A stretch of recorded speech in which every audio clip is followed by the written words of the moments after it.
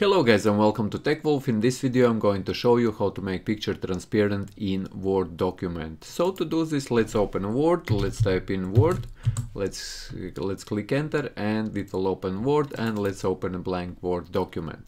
And now let's import two pictures and to do this guys let's click on insert at the very top and here select pictures and select this device to, Im to import from your computer and I will be importing from downloads and I will select this bird picture and I will select another one this Teams logo picture.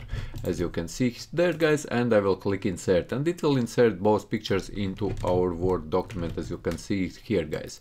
But if I try to move now those pictures it is impossible. So click on the first picture and then to be able to move this picture around or both pictures all you need to do is here once you select the picture you will see that we are now in picture format. Here on the right hand side you will see this wrap text. Just click on it and click and select here in front of text. And now you can move this one picture around but you still can't move another one. So do the same. Click on another picture and here again click on wrap text and click on in front of text. And now you are able to move these both pictures around in your word document. If you would want now this bird to be behind Microsoft Teams logo and you would like to Microsoft Teams logo to be transparent, all you need to do is click on that Microsoft Teams logo and right click on it. And click on format picture here in this drop down and click on format picture.